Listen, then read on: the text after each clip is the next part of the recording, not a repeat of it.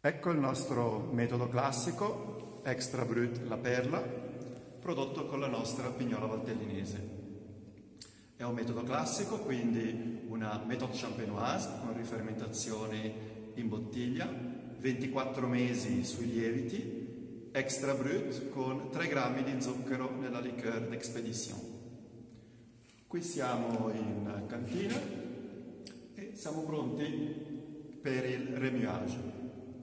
Questo spumante è uno spumante fresco, una bollicina di montagna, tutta da bere e da gustare. Salute! Il Valtellina superiore La Mossa è la nostra vendemmia normale.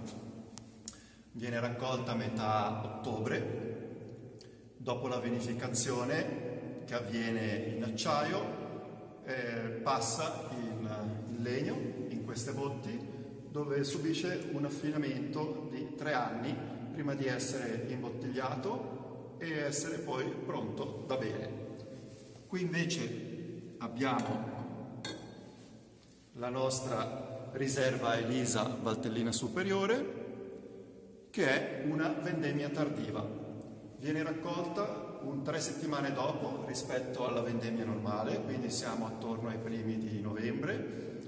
L'uva resta in pianta, si concentra leggermente in zuccheri, abbiamo quindi un po' più di alcol nella riserva Elisa rispetto alla mossa. E la riserva Elisa fa poi un anno in più di affinamento in botte grande, quindi sono quattro anni di affinamento in queste botti di legno. Anche questa viene imbottigliata, riposa ancora in bottiglia per un anno in cantina e poi esce sul mercato pronta da bere.